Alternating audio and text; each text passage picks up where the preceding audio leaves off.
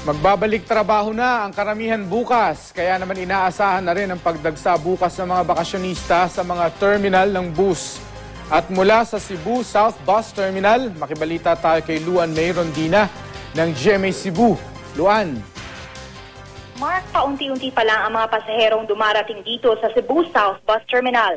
Ayon sa ilang nakausap natin dito, kung hindi man ngayong araw, inaasahang bukas ng umaga dadagsa ang mga pasahero dahil balik trabaho na bukas. Mark, kagabi aabot sa 1,000 hanggang 1,500 ang mga pasaherong sa bus terminal na sinalubong ang bagong taon. Maaga kasing nag-cut off ang kanilang usual trip. 9 p.m. sana ang last trip, pero kagabi, 8 p.m. pa lang wala ng mga bus. Kaya ang mga pasahero, hinintay na lang na mag alas 2 ng umaga para makasakay sa first trip.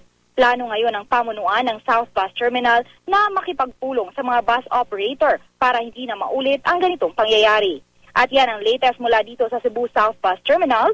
Luan Merodina, Nagbabalita, Pilipinas.